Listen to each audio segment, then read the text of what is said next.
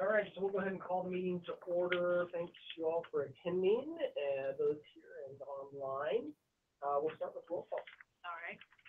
Allison Welch. Go on. I am, sorry. Here, yes, sorry, couldn't hit the mute button, so yeah. Good morning. Thanks, Allison. Ariel Tarango. Barb Stolzfus. Present. Candace Williams, Present. Carrie Lewis, Present. Corey Usher. Dale Woolridge. Edward Nick. Present.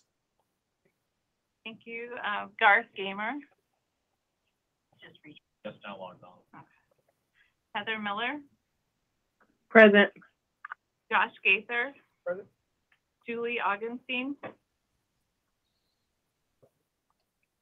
Laura Smith, Present. Maria Salas, Present. Michelle Guadnola. Paul Dabrowski. Ralph Kelly. Ray Proa, Present. Don Bowker. Tiffany Streever. And Tom Flanagan. Shelley, this is Garth Gamer. I, I think I missed my roll call, but I'm present. Thank you, Dr. Gamer. I count 11, I need 13. Um, We can proceed with an informational meeting. Dr. Woolridge said he'd be here in about twenty minutes. so that may- may help. Um, all right, thank you.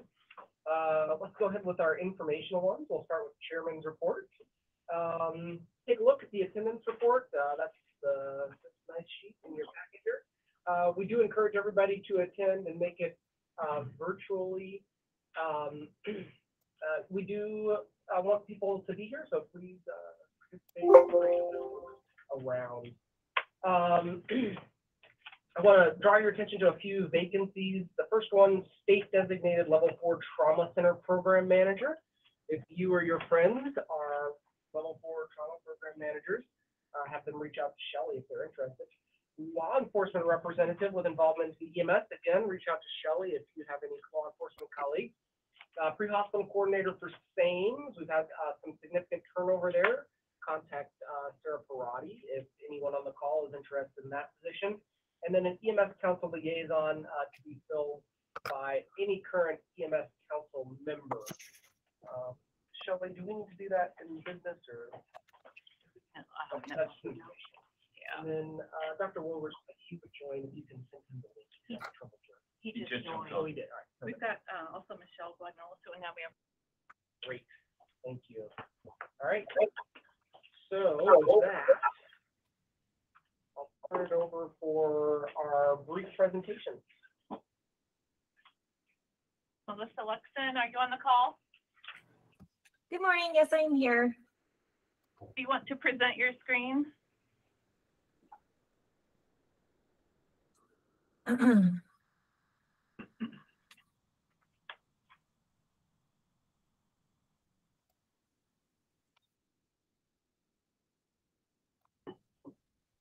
Alrighty, can you see that? Yes, ma'am. Okay, great. Well, good morning, everybody. Um, my name is Melissa Luxton. For those of you that don't know me, I'm the Trauma Outreach and Injury Prevention Coordinator at Banner University Medical Senior Center Phoenix. And I am also the chairperson of the Arizona Falls Prevention Coalition. So I've been asked to just present a quick presentation um, under 10 minutes this morning, uh, discussing the Arizona Falls Prevention Coalition and how we can strengthen our relationships with our EMS partners. Uh, many of you have probably heard me present over uh, the past few months. This one's a little bit different. Um, I have some exciting news to share from the coalition, so just going to be real quick. Um, first of all, I just kind of want to talk about who the AFPC is. So the AFPC is it was a grassroots effort, um, was designed to provide information, advice, helpful hints, and tips to help prevent falls and fall injuries um, by the elderly in the state of Arizona. Um, we actually have several different chapters. So we have our Western, our Northern, and our Southern chapter, as well as our main chapter that's housed here in Maricopa County. So it is a statewide outreach effort. Uh, we promote evidence-based falls prevention approaches and coordinate existing efforts, providing technical assistance and increasing opportunities for older adults to enhance their quality of life. Um, how we do that is we provide education and information to help those adults um, improve their flexibility, balance, reduce their fear of falling, and overall decrease the likelihood of the of a fall.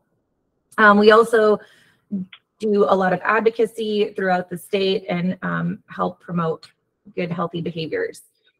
So, like I said, we do have a statewide impact. Um, we've held professional and public education awareness events. We've also done professional and public symposiums, which we are looking to bring back uh, hopefully by next year. Uh, we are engaged with fire and medical departments, help many of the different health systems throughout the state, local health departments, county health departments, and then um, several higher education institutions, including ASU, uh, GCU, U of A, um, and NAU. Just want to really quick talk about the burden of falls. So they are very, very common. Um, the consequences can be very serious, and they are, in, as far as unintentional injuries go, they are the seventh leading cause of death among our older adults. In fact, one in four older adults will fall this year, and that's widely underreported because many people that fall do not tell their primary care doctor or even a family member because they're embarrassed. And it is the uh, number one cause of un- unintentional injury deaths among our older adults. This is just taken from the CDC, so you can see right there, seventh leading cause of death overall, just under diabetes, which is huge. And then as far as unintentional injury deaths, falls is always number one.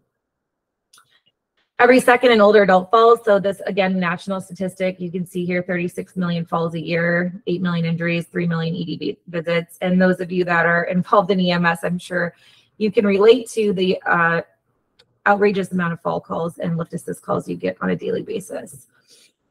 As I said, the consequences can be serious. More than 95% of hip fractures in older adults are due to falls, and our hip fractures uh, have a high mortality, one-year mortality rate. They often lead to loss of independence and nursing home placement. So our independent livers that are able to take care of themselves and perform all their ADLs often find themselves in nursing home placement with their quality of life drastically reduced after the fall. And these fall death rates are on the rise even after adjusting for the aging population. So sometimes when you look at statistics, it may seem like they're they're going down, but if you look at it in adjustment to the, the rising aging population, they're actually increasing. They cost our healthcare system uh, lots of money. So $29 billion in Medicare funds every year, 9 billion in Medicaid and 12 billion out of pocket. So 50 billion dollars overall every year. In our state alone, um, I just kind of mapped the trends out since 2016.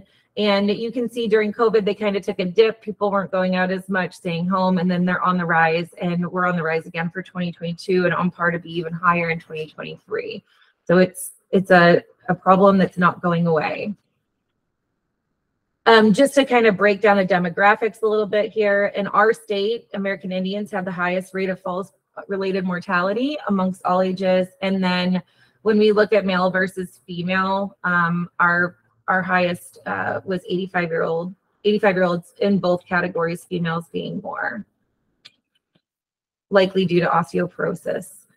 Um, for those of you that don't haven't used the 911 dashboard, this is a great resource that I always like to talk about. If anybody doesn't know, you can actually go on the state website. I have the link posted here and I'm happy to share it in the chat box where you can go and see the region and you can actually look at the current weekly 911 call volumes. And this doesn't change. This looks like this week after week after week. Um, Falls is by long and far the most the most calls that they get. Um, and if you look at this right here, um, 61.8 of 911 calls are related to falls, and then falls make up 47.63% of all trauma cases statewide. And that's according to the Arizona State um, Trauma Registry. I can say in my center, um, every year falls are our number one injury um, by long and far, and that's that's a national trend in discussions with other trauma centers. So some of our risk factors that we have um, for our older adults is neurological conditions, depression, arthritis, osteoporosis, um, any cardiac conditions, diabetes, urinary incontinence. And then Some of the modifiable ones are their gait and balance, lower extremity weakness, polypharmacy is a big one, vitamin D deficiency, orthostatic hypotension, visual impairment, foot issues or improper footwear, and home hazards. And those are all things that we can that we can change and we can educate on and hopefully reduce that risk for falls. Um, lots of medications, lots of polypharmacy going on. Um, and then really, again, just educating. So medications like anticonvulsants, antidepressants, antipsychotics, benzos, opioids, sedatives, um, even anticholinergics, they dry you out. They can make you dehydrated. Same thing with antihistamines. Any blood pressure medication causing it to drop too low could cause dizziness or orthostatic hypotension and muscle relaxants. Many people don't think about those, um, but they do actually impair a person. So they are highly linked to falls. And how our EMS partners can help us with this is really getting a good medication background. So um, oftentimes at the bedside, we'll, our nursing staff will have people, you know, come in and those patients are very poor historians and we're not able to identify their medications because they've never been at our center before. Um, they didn't bring their meds with them. And so strengthening that relationship and that communication of identifying those medications between our EMS and our nursing staff would help to identify issues like polypharmacy or identifying medications that could increase them for a fall risk. Um, just want to talk a little bit about the importance of fall prevention education. So, um, as I said, every year millions of people fall. Um, and many of those falls don't cause injuries, but one out of five falls does cause a serious injury, such as a broken bone or a head injury. And it can make that hard for that person to get around or do any, um, do their ADLs, um, even living on their own. So fall prevention and ed- education in conjunction with fall present, prevention strategies such as home modification, vitamin D replacement, bone health supplementation, um, annual eye exams, all of those types of things um, provide numerous advantages, such as improving fall prevention awareness, the perception of fall prevention intervention, and self efficacy. Um, oftentimes, people fall just based on the fear of falling. So, if they've fallen once, they're more likely to fall again, solely based on the fear of falling alone. Um, back in 2021, uh, the coalition did a lot of advocacy work to help pass this bill. It's called Senate Bill 1373. It was through the Attorney General's Health and Safety Committee that this bill was passed, and it requires senior care facilities to provide CPR first aid and aid to people who have fallen until EMS arrives on scene. So um, basically, that says that they have to have specialized training for staff and they have to be trained in not only fall prevention, but also lift assist recovery. And the AFPC was specifically named in the Senate bill and ARS as uh, a place, a resource that the healthcare institutions can use for information and training materials from our from our coalition. And I am very excited to announce that our fall prevention training program is actually launching today in about 30 minutes. We have our general session meeting, so I'm just going to take you to the web page here. Um, this is our training program. It's offered absolutely free of charge, and um, this will be a credible source for any of these assisted care facilities or licensed care facilities to get fall prevention training and falls recovery training. They just go here, they click uh, register for an account, they hit get started, and then it takes them to a lesson and an assessment quiz. And then the lesson, I'm just going to show you a brief, brief um, intro here. so just a video and they can't skip through it. We've taken that feature away. So they actually have to watch the full training course um, to be, and then also going back, then once that video is done, they'll take the assessment quiz and then it actually spits out a certificate that gives them showing them that they've completed the training. And um, we also have those on record. So if the state wanted to verify, you know, a center said that they had training, they have put their staff through it, the state can come to us and we can provide them with any any training certificates as we'll, we will have those on file. So able to cross check that. Um, how to get involved you can join the coalition. Our website is az.falls.org. Like I said, we have many different fire departments and EMS agencies that are part of the coalition. We love to have more. Um, this is our webpage. To apply for membership, you can just visit az.falls.org. On the main page here, you can apply for membership by just clicking there. and read through everything here. If you don't want to become a member, but you want to utilize the resources, absolutely visit our page. Um, we have all kinds of um, events that are listed, anything falls prevention throughout the state, as well as education that you can use, social media toolkits, video series, and then our training will also be offered on our website as well. There'll be a link to that. Um, statistics, if you're looking for a fast place to grab AZ statistics, we update these on the regular um, so that it's a one-stop shop for all things fall prevention in the state. And I will conclude it because I know you have a very busy meeting this morning and I tried so hard to stay around 10 minutes and I'll take any questions real quick. Thank you, Melissa, for the presentation. Any questions or comments?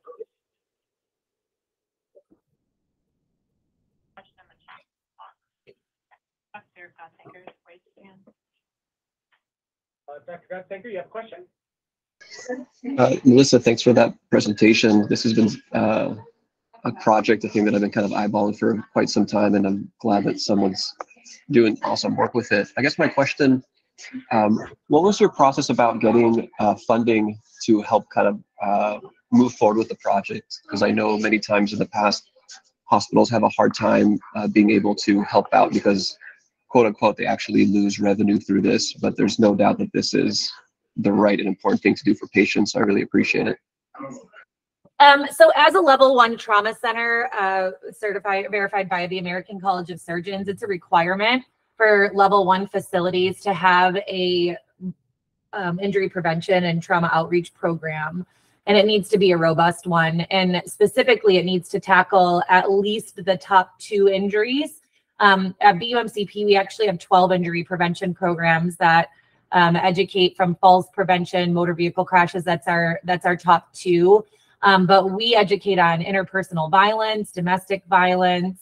Um, I mean, just so much railroad safety. We do all kinds of injury prevention, but it's actually a requirement by the ACS. And even our lower lower level centers, they don't have to have a me. Um, they can use their trauma program manager, but they also have to participate in injury prevention, um, education, and outreach in the community. No, that's wonderful. Thank you. Appreciate it again. And I am seeing the comments and I will post the addresses as well as my email address for anybody that wants to reach out to me. Um, you know, after afterwards, feel free to email me. Great, thank you so much again. Appreciate the time and information. Um, let's move on to our bureau reports. Uh, Chief Ricketts.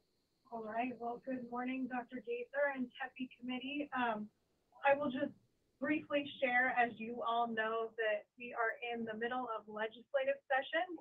And so as always, if there are any questions, um, the Bureau of EMS and Trauma remains ready and available to answer any questions that come up during legislative session with some of the bills that are being run. Um, we are also at, at the department reviewing our rules. Um, I think you all know that we do five-year rule reviews regularly. And so we've looked at a number of our rule sets. And we are on an ongoing basis, um, looking at meeting with stakeholders on ambulance rules. We are also looking at our trauma rules currently and, um, looking to make some administrative clarifications moving forward with those. Nothing major, really just minor administrative clarifications. We will, of course, keep stakeholders updated on any legislative or rule updates as we move forward. And we have a number of items listed under the Bureau report to cover today to keep you all again updated on what the Bureau is working on. I would like to introduce some new Bureau staff before we kick off with the rest of our report. We have with us in the room this morning Jim Archer, who has joined the Bureau. Are you four weeks in yet? I think so. about four weeks in, Jim. Welcome. We also have Sebastian Thomas, who's been with us just a little bit longer. Um, and Jim is joining us as an enforcement investigator, and Sebastian is going to be helping to oversee our first responders opioid grant project. And thank you. Welcome to both of you. We appreciate it. Um, I also want to make sure I embarrass Julia Vinton and um, congratulate her. She has recently accepted an, a promotion as our services section chief within the Bureau. So um, thank you all. We appreciate you joining us for today's meeting, and we look forward to continuing to work with you and the rest of the committee. I will pass it next to Dr. Bradley and our opioid prevention team for some other updates. Gail? Good morning. Can you guys hear me okay? Excellent. All right. Uh, so just wanted to touch base as uh, was mentioned previously. We do have Sebastian as part of our team, which is really exciting as we get ready to go live with our uh, kind of upgraded naloxone Leave Behind program.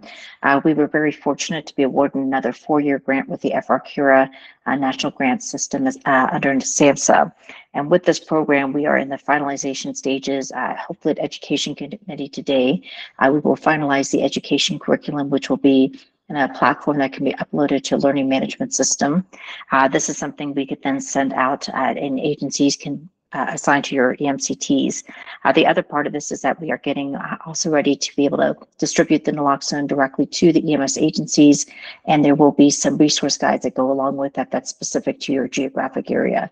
Uh, and we're excited with our partnership with the Center for Rural Health that's helping with that c- component. So as we get ready to go live, which should be in the next couple months here, we will make sure there's quite a bit of communication that will go out via GovDelivery to the regional councils as well as other uh, EMS lists in the state. And we do have the links on the website there if there's any questions.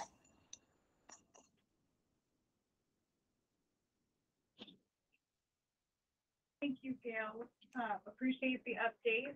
Um, and I guess we will also have to make sure we're sharing Sebastian's contact information as well, um, for any folks that would like to get in touch with more information as that grant and project moves forward. Uh, we have some slides that we wanted to share next. Shelley, if you can help us do the honors.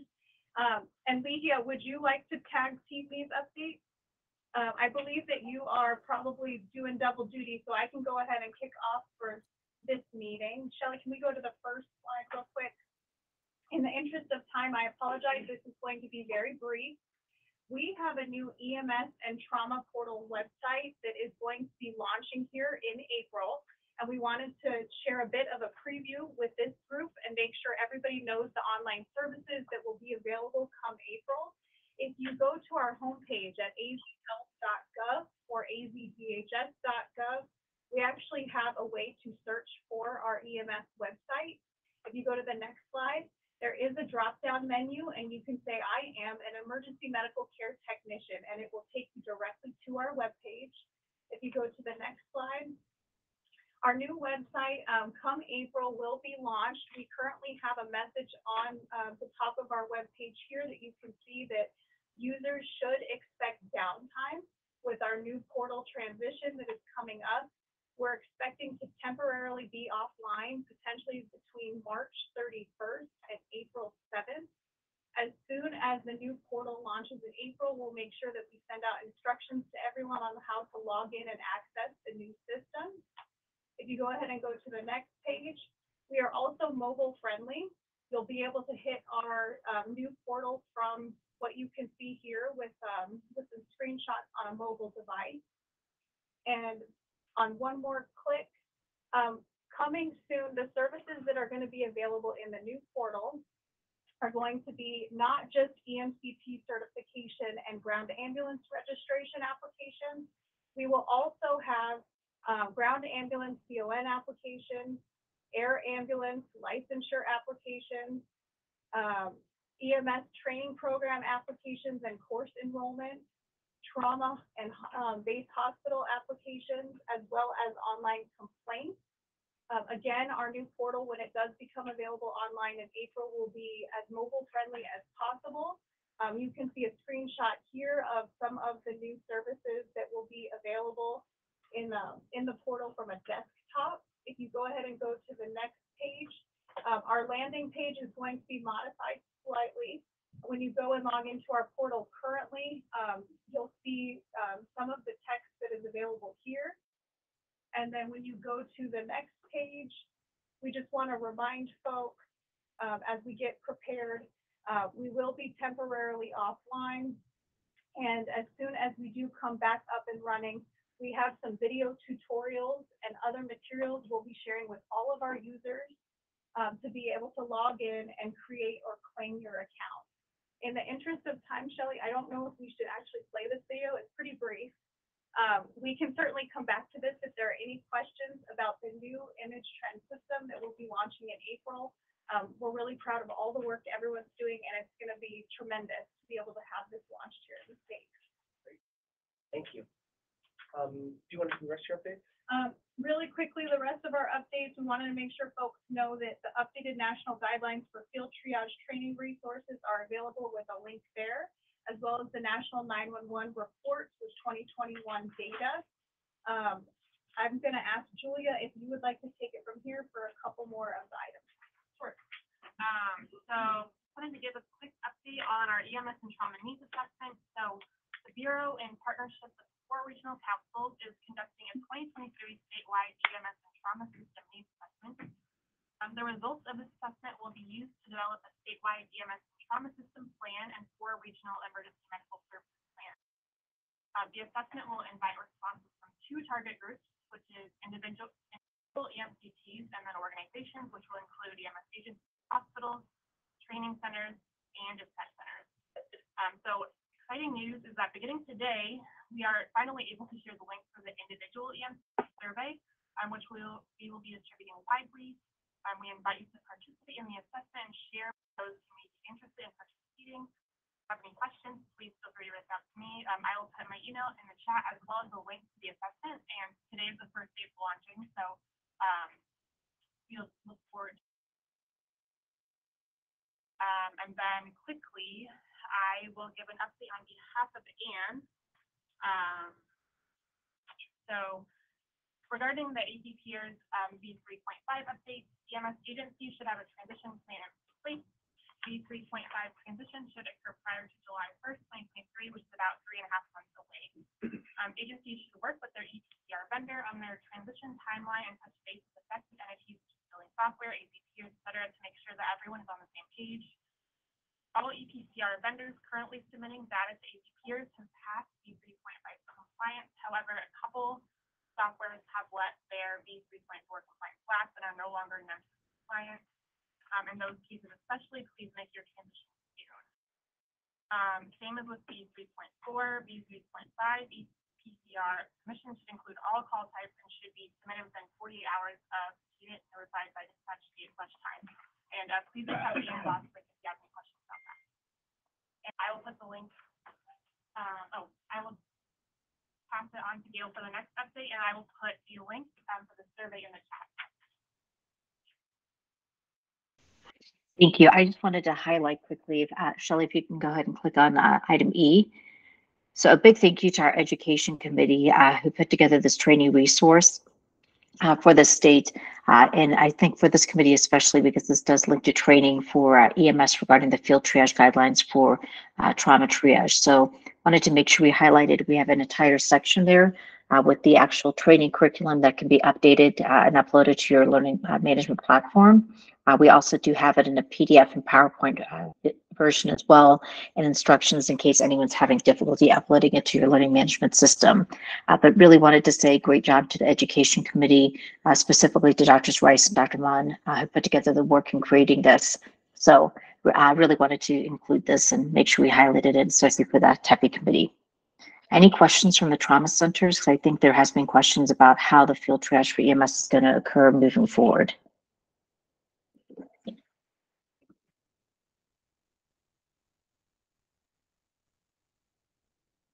I Don't see any questions in the room. Keep the line. No. Okay, thank you. Thank you, and big thank you, Dr. Rice, and for the team that put that together. It's remarkable. Um, I'm not sure who else we still have on the line. Um, do we have Carissa for any trauma registry updates? Yes. Um, so we don't really have any major updates from the last uh, meeting we had, but I just wanted to let everyone know we still have Trauma One. Um, ESO hasn't released their new registry product yet. Um, they aren't anticipating to do so until at least the end of this year, and that won't be for a state product. That'll just be for a hospital based product. Um, and so we'll let you guys know if there are any changes, but we don't foresee getting rid of Trauma One at least through this year. So um, just wanted to keep you guys updated on that. Thank you very much, Carissa. Um, we are fortunate to also have Kim Bohm in the room today. Would you like to share an update on the ATV injury prevention project? Comments, I couldn't. Oh, you- Come on over here, Kim. Um, So we've been presented with a really great opportunity to work with Game and Fish as well as our DQA section to come up with a project kind of based off of our last stab um, agenda or uh, stab report, which identified some opportunities for improvements on um, ATV safety, helmets, kids in general. So um, we've sat down with them. We had our first meeting. It was um, really great to touch base with them. They already have some programs in place that we may be able to get out more to the community through our trauma centers. So um, we will be meeting with them again with our trauma program managers work group on April 14th to um, discuss where to go next. Very good. Thank you so much, Kim. We look forward to hearing updates on that, and it's gonna be a great meeting come, what was the date again? Uh, April 14th April fourteenth, that next trauma program managers work group. in Safford, Arizona. Very good. Um, and the final thing we have listed again is another link that we just want to make sure that we put on some agendas through June. ADOT has launched a public comment period for their five-year, um, program plan. And they are focusing on updating and widening major corridors. Uh, we feel it's important, especially for, um, our EMS and trauma partners to have an opportunity to review this and provide public comment, particularly as it may impact their communities. Um, and mobility. And so um, please take a look when you can and um, um, let us know if you have any comments. But the link is there. And Dr. Gaither, we will turn it back to you. Thank you. Any questions, comments for our wonderful bureau staff? Um, I have one quick question that I didn't ask at the beginning. Um, Julia, I think this was yours for that needs assessment.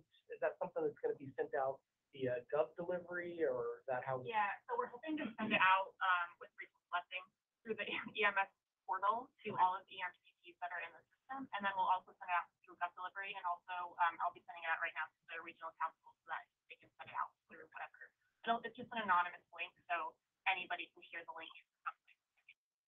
Look out for those emails, uh, complete those surveys. And can Yes, please. Um, this needs assessment that's going to be distributed to both individuals and organizations is a really important opportunity for us to identify any workforce needs and other EMS and trauma needs that are out there.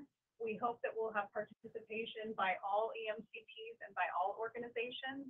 It is an opportunity to update our strategic plan, both at the state level and the regional council level, and potentially identify funding needs as well moving forward. So we again really hope that everybody takes the link, shares it and participates and um, it will help to inform our, our five-year strategic plan. Thank you. All right, let's move on then to updates. And, I'm sorry, are any other questions for the first step? All right, let's move on to updates then. Uh, first, we have the trauma registry user group. Uh, good morning, this is Maria. Um, the two, uh, updates that I have from the truck, um, group meeting is for state web users, AIS fifteen has been implemented in Trauma One. And the other thing, uh, we're still waiting for, um, NTDB twenty twenty-three updates to be completed. Um, those are the only two items I have. All right, thank you, Maria. You're Uh, welcome. Next next up, trauma program manager workshops. Heather, Yes, thank you. Good morning. Uh, so just like Kim said, they're working on the next trauma program manager workshop for April 14th in Safford with um, some excellent ATV training that should be coming. Our last meeting was January 27th, held at Banner. Um, they had a great lecture on geriatric trauma, falls, human trafficking, talked about some TQIP data, state reporting, uh, and some injury prevention. So overall, great meeting and hope to see as many as we can at the next meeting. excellent. Thank you, Heather. Uh, next up, EMS registry user groups. Raymond? Uh, good morning, everyone. Dr. Gaither. Um, we haven't had, uh, the EMS registry hasn't had a meeting, I believe, since the 22nd of August. I believe there'll be one coming up, uh, in the next couple of months. Usually we have one in the middle of the year. So, uh, probably by the time we have the next meeting, we'll be able to report something that's, um, new. Thank you very much. Uh, let's then move on to the discussion and action items. Uh, the first, uh, discussion item is to amend, uh, sorry, review, amend, and approve the draft meeting minutes from our meeting on November seventeenth. Uh, for those of you in the room, the packet, the meeting minutes are available to you, and for those of you online, please take a minute to click on the uh, meeting minutes, review those, and we will look for a motion to approve or amend if necessary.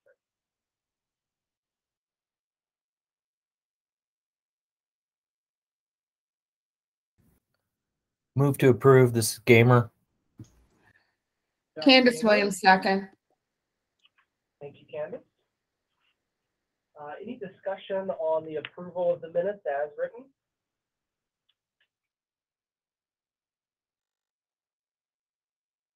In the chat? No. Okay. Uh, hearing no discussion or chat items, uh, I'd like to call for a vote. Uh, all those in favor, please say aye. Aye. Aye. Hi. Any, any opposed, please say nay. Hearing none opposed, the uh, motion passed and the minutes are approved without amendment. Let's move on. Did I hear Bothell maybe not available? We want to up this for a minute? Vatsal, do we have you on the line this morning?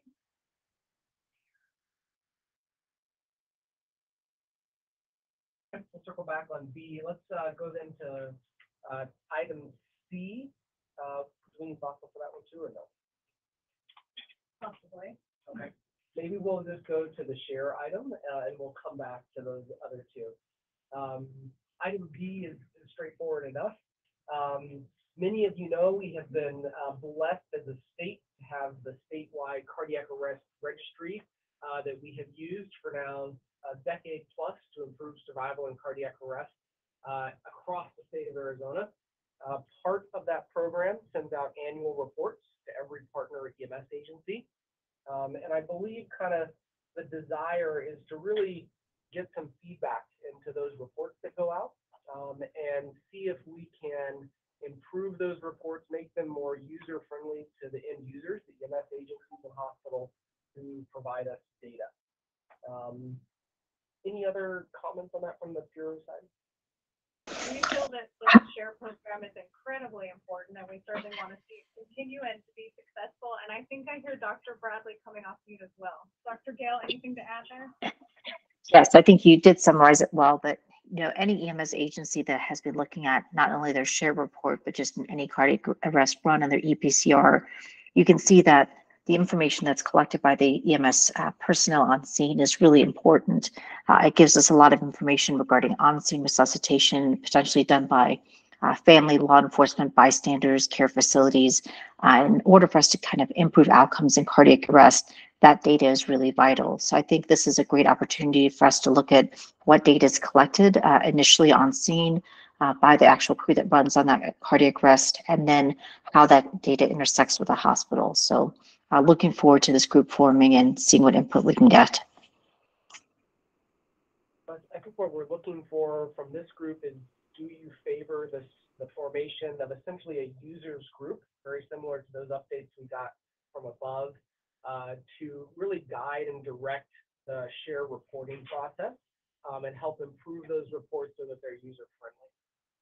Um, happy to consider a motion, uh, for this or discuss further. Move to form such a group. This is Gamer. Dr. Gamer? Anybody?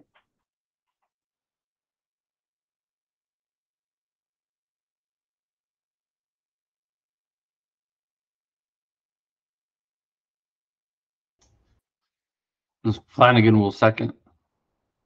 I'm sorry, I missed the name. Say that one more time. Uh, Tom Flanagan, Thank you, Tom. Uh, So with a motion on the floor to form a shared user group, um, any discussion on that topic?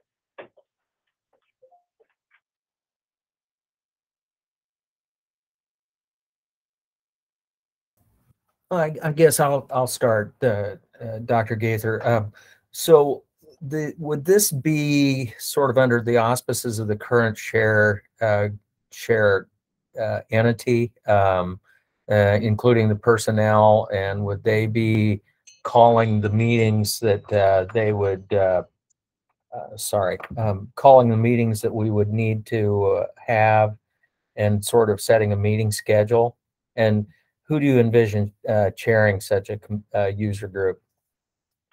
Great question, Dr. Gamer. As Shelley just wrote next to me, please uh, ask for volunteers. Um, that, this is important actually to give some history on. As many of you know, um, the University of Arizona has for the last decade partnered with the DHS to uh, really do the science side of share, um, to ask questions and do some publications off of that.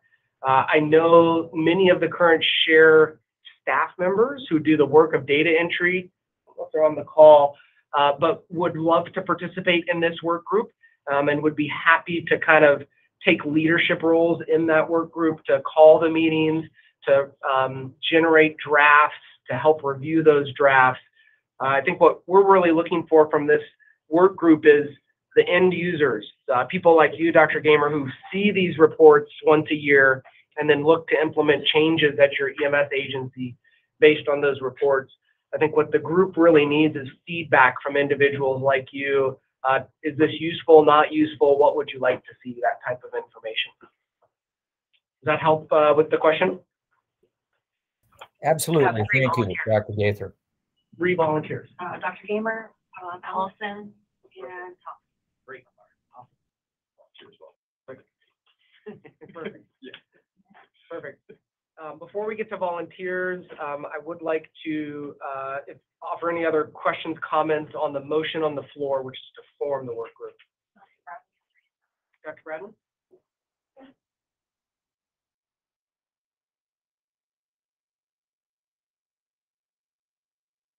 Dr. Bradley, did you have a comment or question?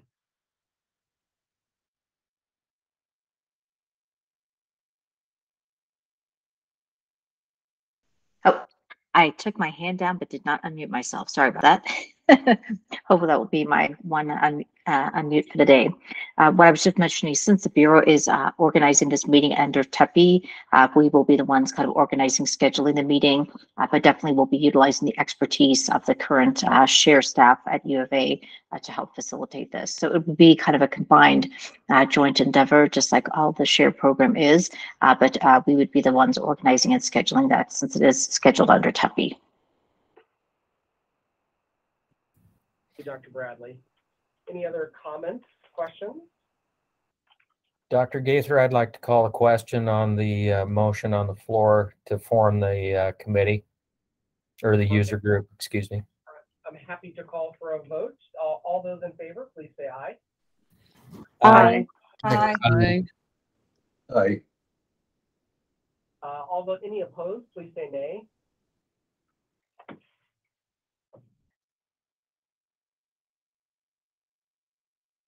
All right, hearing none opposed and all in favor, the motion passed. Can I then uh, turn to volunteers to um, participate in this work group? We have three online. Yes. We have, Tom Flanagan, perfect, Allison Welch, Allison, Amber, Matt. In the room, sorry. Eric Cooper. Okay. Bill Guadnola is typing yes. Okay, He does. Perfect. Excellent. And then, do you need a nomination to lead the committee? Or some work group? Or do you do that in the work group? Yeah, we'll Do that, have, if you're not it, I think, are you gonna be it? sorry, Dr. Bradley? Well, I was just going to nominate uh, Dr. Rice to uh, chair that if she is interested, based on her work with the ARREST program and her participation and share over the years. All right, good. Uh, thank you. I think we've accomplished that, uh, motion. Uh, let's move on then. We have. Back. All right, let's go back to item B, uh, annual EMS report from Vatsal.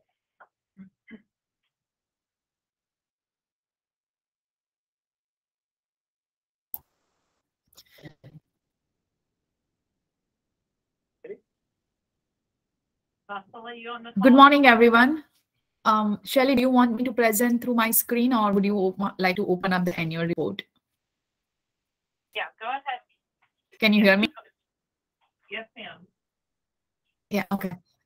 Yeah, I'm gonna have you present your all right, screen. perfect. Um, okay.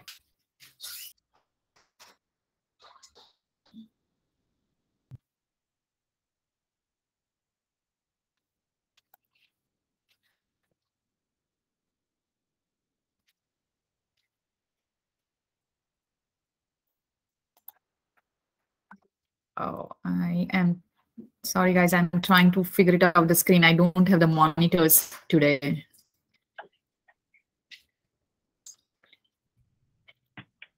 Can you guys see this? Do you want me just to display something that's posted to the website?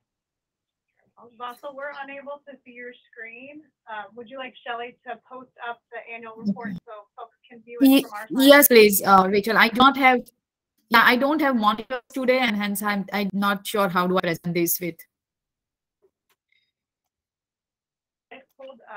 And, um, just by way of introduction, um, for anybody that's newer, especially some of our, um, newest team members that are joining us today, Vatsal is the ultimate EMS and trauma data guru.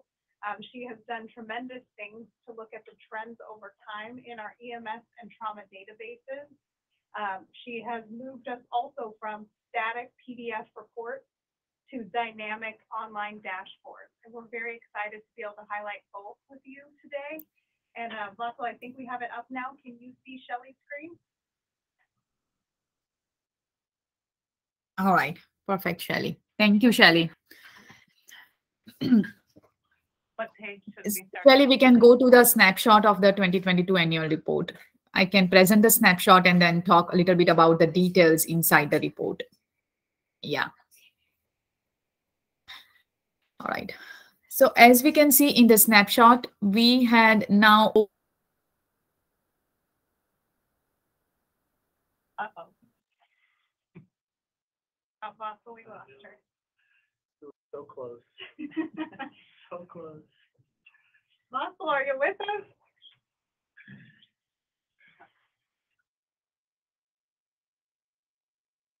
Would you like, uh, me or Gail to step in while we wait for her to come back? Yeah, we'll need to, re- Okay. Um, Vatsal, if you can hear us, we cannot hear you, and I can go ahead and just hit a few of the high notes while we wait for your audio or connectivity to come back. Um, so what we're seeing here is the Arizona EMS system snapshot. It includes over 1 million, um, 1 million incidents that were reported to AZ peers during the year of 2021. So keep in mind, we are always looking at historical data when we look at these snapshots. It takes some time to get all the reports in, get the data cleaned, et cetera. Um, here we see, again, I think it's just over 1 million that we're able to include in the actual analysis. That is over 3,000 incidents reported per day. We break them down by ground and air. And you all know we have um, a much different volume when we look at it that way. Uh, we also break them down by 911 and interfacility, with the majority of the incidents being reported to AZ peers as 911, but we also collect interfacility transport information from all of our participating agencies. There are almost 180 agencies statewide, both air and ground, that submit data to AZ peers. I think you heard from Ann's update. We get this information usually within one day of the incident, but it's almost always within 48 hours that data is reported to us. It's very close to real time. And um, we're fortunate that we have, it sounds like most providers on board with going to that new that NEMSIS version 3.5 update. Uh, Vatsal, are you back with us? Yes, I think, can you guys hear me now?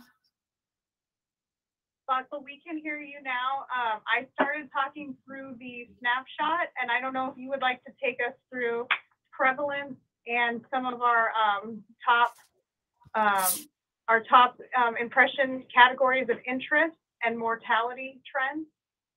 Sure. So as we can see in the top uh, five prevalence are injury is on uh, respiratory distress, seizures, psychiatric disorder, suicide, and substance abuse. These are actually not the top five, but these are the primary areas of interest. Let me put it that way, because that is, it's just not the top five of it. There are thousands of primary impressions in EMS, so it is very hard to uh, figure this out. So these are the primary areas of interest where the bureau has shown interest that okay, we need to figure it out what's going on in this area, and those are the five impressions we take into account. So that is for the pediatric. As we can see, the top five we have pediatric and adult. Below we uh, we have all, everybody, not just adult. So that's injury, substance abuse, psychiatric disorders, seizures, and cardiac arrest. Whereas in the pediatric, we have resp- we do not have the cardiac arrest as one of the primary impressions of interest in that. Followed by, we do have, the, we, we talk about the median time intervals for 911 EMS ground incidents and uh, response time is eight minutes, scene time is 12 minutes, and transport time is 11 minutes. Um, it, the report does talk about these response times in detail, uh, like you know those patients who were transported to the hospitals, and then what was the scene time and what was the transport times by region and everything. Uh, but this is in general the statewide. It gives you an information on and on average any 911 EMS ground incident, the response time is eight minutes. Um, when we look at the mortality by the primary and secondary impression categories, uh, cardiac arrest definitely has the highest mortality. We see 85.9% is a mortality. Opioid 13%, uh, STEMI 8%, stroke 5, and diabetes has 2.5% uh, mortality. So when we look at the, the, the snapshot uh, provides basically what is in detail later on the report talks about. So in the report, uh, I'm not going to go through the uh, everything in the report, but what you would see in the report is that it's divided into few sections. It starts with uh, 911 ground EMS incidents, and then it will describe the picture of um, all the 911 ground uh, incidents like their age, uh, gender, county, what were the primary impressions among them, and the regional distribution. Followed by, it talks about the interfacility transfers, and the same thing, if it is an interfacility transfer, what's going on in that area. Um, we also have a section which talks about um, EMS when we when all the patients, those patients who are transported to the hospital, we link those patients to the hospital discharge database. And then we talk about like okay once they are linked with the hospital discharge then what was their outcome at the hospitals? So this way this report also describes what is the on-scene mortality and for what was the in-hospital mortality. Um, and then the last last thing is on the uh, response times and transport times and scene time if if there are any other questions on the report, you know. So can you, would it be possible to page through the report so that um, we can take a brief look at that? um, Shelly, would you mind repeating the questions? I can't hear it. Sorry, Vatsal. I asked to page through the report so that we could briefly glance at the other pages of the report uh, that uh, Shelly's sharing with us. Okay, sure. I can go uh, briefly go through the report. I just didn't know the time constraint, how much we have. So, so as yeah, that describes basically the uh, 911 EMS incidents by month and the day, hour of the day. And as we can see, the peak hours are between the, the regular peak hours and then it. Yep. then the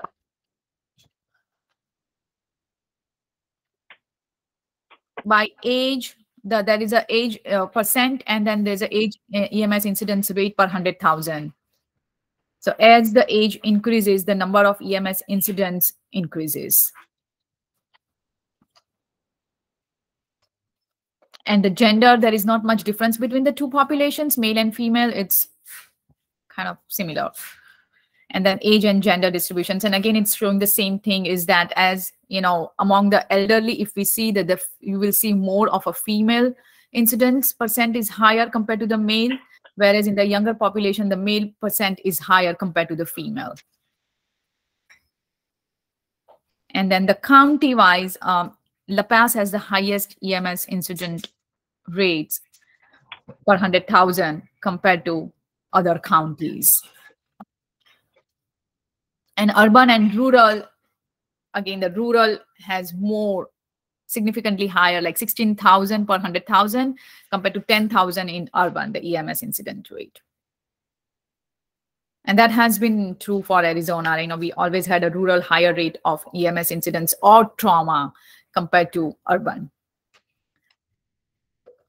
And that's the regional distributions. And so any region, region-wise also, we can see the age and uh, uh, gender distributions through the region. So that 911 EMS incidents by region. Okay, this is where we talk about the hospital discharge database. So those patients who were treated and transported as a disposition uh, from the EMS side, or uh, I link those, I link that patients to the hospital discharge database. So total there were treated and transported 6,000, 670,000 patients and th those were linked to the hospital discharge database. Shelly, if you scroll, I can show the little bit scroll down. There is a number over here. Yeah, right there. So we were able to link 90% of those patients. So 600,000 patients were linked out of 70,000 to the hospital discharge database. And what we see in those patients is we had in hospital mortality 1.2% uh, ED, and uh, if they were admitted as inpatient, 6.98% mortality. And so that disposition like you know what happened at the ed or if they were admitted what happened after admissions is shown in that table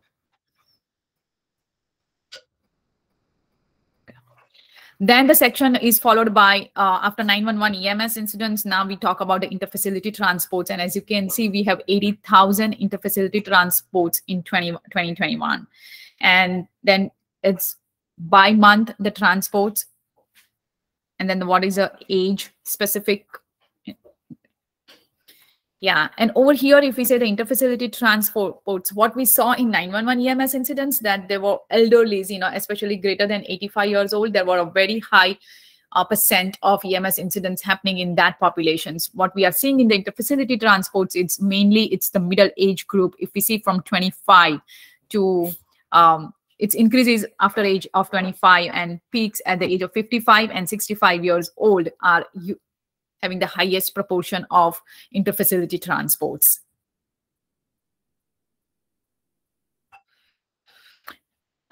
By county, Navajo is, oops, yeah, Navajo has the highest and followed by this Apache and La Paz County, whereas in 911, La Paz was highest. urban and rural, again, uh, we see the same pattern, similar to 911 uh, EMS ground incidents, is that rural is higher compared to the urban. and then the cities, and that makes sense, you know, the patients more from the rural areas requires interfacility transports because you see that that's 2,300 to 781. So difference is quite a bit between rural and urban, which was expected. And Vatsal, may I Yes. just add on here, um, Mhm. for context, again, we're looking at twenty twenty-one data in this report. That is during the time frame that we also had the Arizona surge line activated. And the surge line was responsible for facilitating transfers from lower levels of care to higher levels of care. During that time, we saw a significant increase in interfacility transports, particularly from rural to urban areas. And, um, just keep in mind when you're looking at this twenty twenty-one data, that was in effect. Vatsal, back to you. Yeah, thanks, Rachel. Okay, let's talk about the mortality. Now, this page talks about in-hospital and on-scene mortality both. As we knew, uh, we know from uh, from that first page, I told you that 1.1 million records were included in this analysis. So, out of 1.1 million records, 36,554 is the number of deaths, and of those 36,554, there were some were on scene and some were in hospitals, and that's the distributions over here by the age. And obviously as age increases the mortality percent are increasing. We can go down. So on scene mortality 12000 and in hospital is 24000 uh, almost 25000 mortality. All right. Um, yeah, and then this is about the primary and secondary impression categories of interest. So in that in primary categories of interest, what you saw in the snapshot was just the five of those, but this table talks about many more. um, this time, this year, we added figure 18, which was not there last year.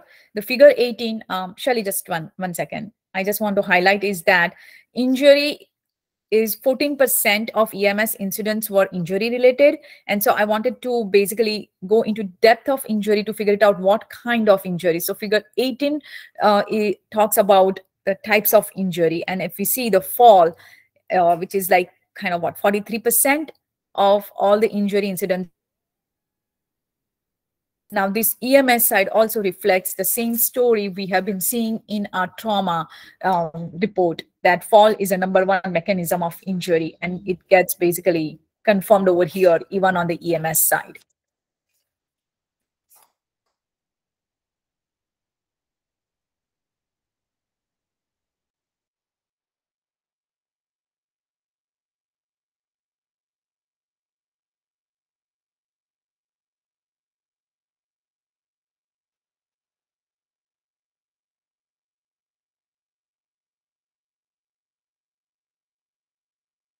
Awesome.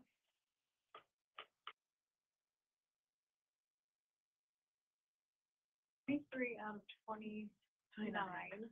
Um, so if we just want to keep rolling at Vatsal's, um, no longer connected. Um, key time intervals is the next page. Um, here you can see, uh, the information we have on response times for nine-one-one incidents. Bossel, are you back? Yeah, sorry guys for poor connection. I'm not at home. I'm in Seattle and facing some network issues.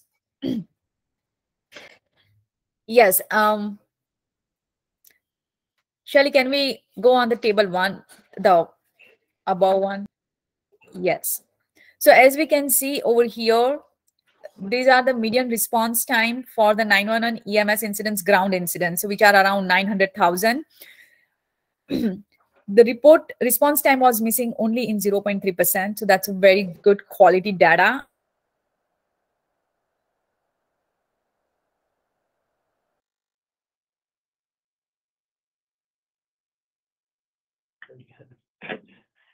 All right, let's go ahead and in the interest of time, um, would you be okay scrolling quickly through these? I think, um, many of these are self-explanatory, but, Yeah.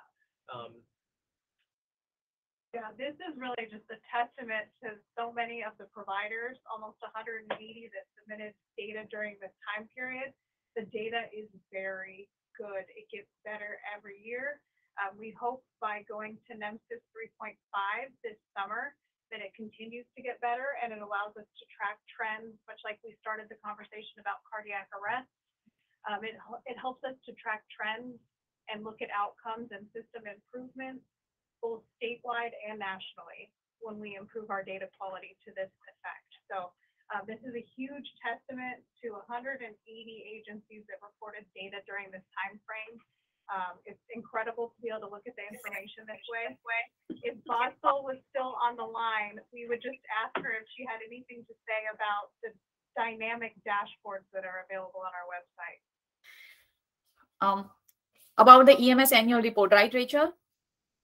Vatsal, in the interest of time, because we do have, I think, at least one more agenda item, if not two to get to, uh, would you be able to help us plug the nine-one-one dashboard that is now online for folks that are interested in looking at some of the dynamic data we have available now? Sure. She- Shelley, would you mind um, projecting that or you just want me to talk? I think if you go on our website, it's a Yeah, we'll pull it up while, um, if you want to give a quick plug about what it is, Vatsal, that'd be awesome. Correct. So the this current dashboard, what we have, it talks about just a week old data and also gives us the volume of two days before. Um, I so it, it talks about like okay, two days before here, call, call volume last week and then call volume on March 14th.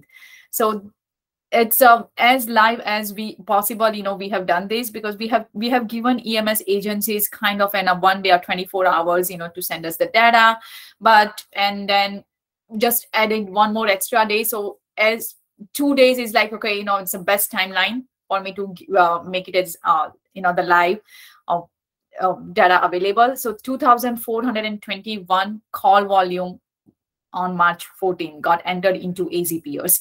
And then the, that's the last week volume. And then the last week call volume by all of these five primary impressions of interest. And that tells us like, okay, we had 357 cardiac arrest calls in the state, 82 STEMI, and the stroke. And then as we see, the fall is again the number one, which is 1400 calls for on falls. And the motor vehicle crashes is around 628. If we go on the top, Shelly, and click on that lab um, weekly averages, and if people see that, then they want to compare, okay, I understand that, okay, I had this many call, uh, cardiac arrest call last week. Is I, am I higher or lower than average? So that's where you, they, you know, you can click and go back uh, to see what was the weekly average for each of these primary impressions for the last few years. Um, so yeah, that's about that dashboard. Thanks.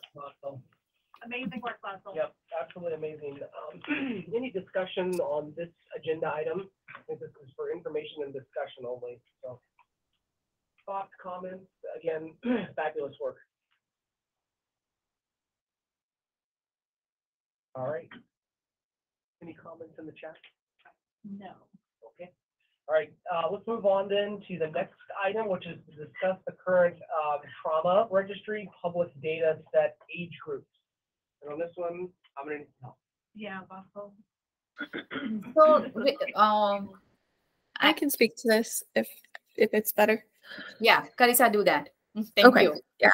So what this is is um, whenever someone requests a data um, that has a submits a data request that's one of our pub- our public data sets, um, we divide up the data by age group. We don't give out the exact date of birth, um, and so currently that data is divided up.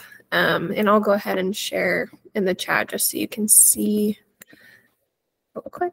But it's basically zero to 14 and then 15 on in sets of 10. Um, and so we wanted to know if it was best for you guys, if it's zero to 14 or zero to 15. Um, that's probably the only age group just for peds and that kind of thing that will make a difference. Um, if if you guys are good with 0 to 14 and then 15 to 24 and then the groups of 10 onward um, it only affects like i said it, this is for the public data set. So it's um, just when people submit those requests. So if it works as is that's great. But if you'd rather have it 0 to 15 or 0 to 18 whatever um, we can change those groups and that'll change how the data is broken up when you receive it after submitting a data request Thank you for that brief overview. Uh, comments? Um, I have some research opinions. I'll share, share those for a minute.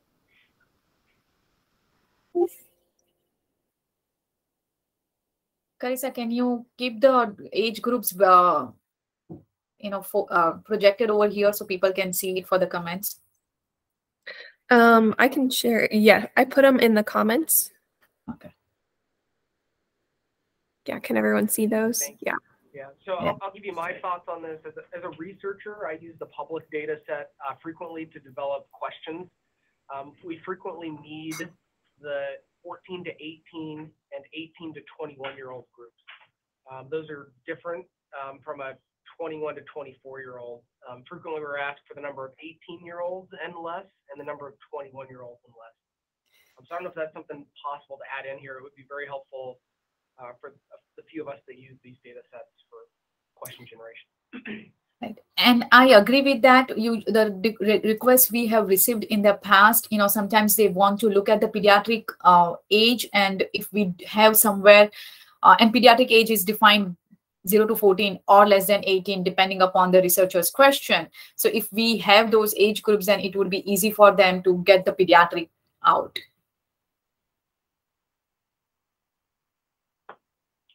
Okay.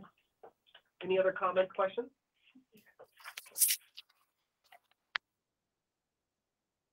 All right. Uh, I don't believe this is a voting item, so we'll move on to the next item. Uh, the final item we have to consider is to discuss, amend, and approve forming a work group to approve the bylaws. I'm sorry, review the bylaws. I believe it's standard time. This is not, uh, there's no indication. This is simply something uh, that we need to get done as a regular review. Um, Can I have a motion to consider this item? Motion. Thank you. Sorry. Barb, yeah. Shelley or Shelley's back. Any seconds? Heather Miller, seconds. Thank you, Heather. We have a first from Barb and a second from Heather. Great. All right, uh, this item's open for discussion. Any comments, questions, concerns before we call a vote? All right, hearing none, uh, all those in favor of forming a work group to review the bylaws, please say aye. Aye. Aye. Aye. Any opposed, say nay. All those, uh, sorry, any who who wish to abstain, I forgot on the last one. Uh, thank you very much. Uh, hearing none, uh, the motion passes. The next item will need to be to identify participants or volunteers to, uh, partake in the review of the bylaws. I'm happy to do that. Such a juicy topic. I know, everybody's excited to review bylaws. I may be the only member of this work group. Come on, It's gonna, it's gonna be very brief. I'm happy to. We'll Uh, we'll bully our in-person. All right, if you'd like to participate in this work group, please, please do reach out to Shelley, uh, either during or after the meeting, um, and we will, uh, get a work group together to do this. It will probably be done in one meeting, I would imagine. Mhm. Uh, this will be very quick. It'll help me understand. That's right, exactly. Uh, perfect. Uh, thank you all. Uh, next is a call for agenda items for the next meeting. Uh, we'll take any of those now, or you can send them to Shelley offline if you'd like to do that.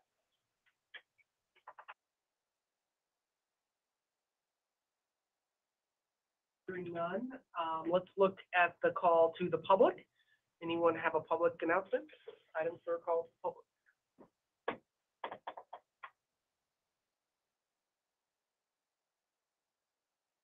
Okay. Last on the agenda, upcoming events, there are a lot. You can tell we no longer have COVID restrictions. If you want to participate in some education, you have almost a weekly offering here on the schedule coming up for the next quarter. Uh, all kinds of great things. Take a look at those. It looks like we have some good links. And as always, I think these are also available on the Bureau website. With that, I will adjourn the meeting. Our next meeting is July 20 in the same location, sorry, likely in the same location, uh, at nine AM. Thank you all for being here. Thank you, everybody. Thank you. Thank you. Thank you. Yeah.